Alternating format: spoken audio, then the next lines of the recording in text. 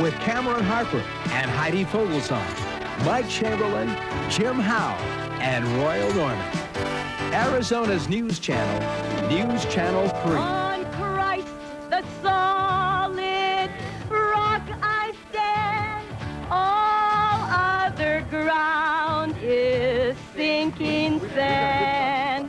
Tammy Faye Bakker comes out singing after her television evangelist husband Jim is found guilty on all counts. Good evening, everyone. Cameron has the night off. I'm Tom McNamara. The Bakkers' prayers have not been answered, at least not yet. This morning, a jury in Charlotte, North Carolina convicted Jim Bakker of living a life of luxury at the expense of many of his followers. Yet Bakker says his faith has not been shaken. Ross Cabot was at the courthouse in Charlotte, North Carolina when the verdicts were read. Ross? Heidi, a very dramatic day here at the federal courthouse in Charlotte, North Carolina. Really the culmination of what's become a national soap opera. The story of the country's most powerful televangelist caught up in a sex scandal charged with defrauding the viewers of his PTL network. It all ended with a shocking conclusion earlier this evening. Just before noon, the word came down and spread like wildfire. Jim Bakker guilty on all 24 counts of fraud and conspiracy. Tension that had been building since Bakker resigned as PTL president in March of 1987 had suddenly exploded. In the courtroom, Bakker remained emotionless while wife Tammy Faye quietly cried. Outside, sobbing relatives and supporters waited through a tremendous media crunch. The jury apparently agreed early on Bakker was guilty. Foreman Rick Hill telling me it was just a matter of technicalities. I had in my mind that uh, he was probably guilty when I went in there. Uh, it probably took a while to help me with this feeling. Tammy Faye bounced back quickly and offered an optimistic song for reporters. On Christ, the solid rock I stand. All other ground is sinking sand. All other ground is sinking sand. It's not over till it's over. Tammy and Bakker's attorney said they were already working on an appeal. Bakker supporters took strength from Tammy and promised their continued support. To me, it's a very sad day. Um, we stayed with him. We uplifted him in prayer. We, as a congregation, of course, continue to support him.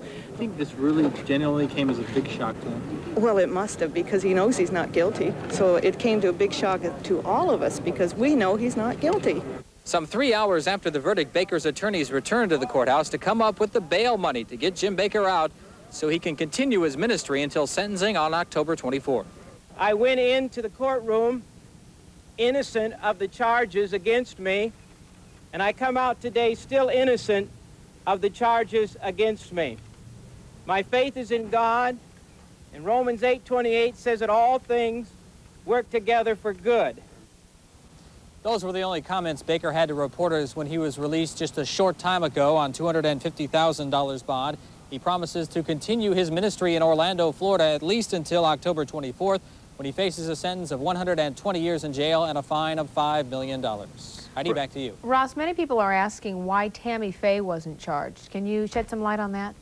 Well, she simply did not have the title uh, with the PTL network, although she was an integral part of the Jim and Tammy show, certainly, and of all the fundraising and the, the charges that did go on. Because she didn't have that title with PTL, that's why she wasn't charged. All right, Ross Cabot in Charlotte, North Carolina. Thank you.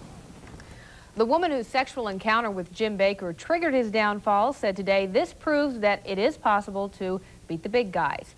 Jessica Hahn, wearing her trademark sunglasses, says she was vacuuming when she heard the news.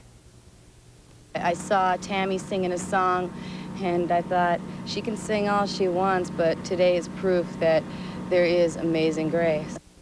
Hahn says a guilty verdict should prove to Jim Bakker that he's not God, but just Jim. With this chapter of the Jim and Tammy Faye story closed, what now lies ahead for other television preachers? Well, we looked into that today, and Jay Dapper's in the control room of a Phoenix religious station with a few of the answers. Jay.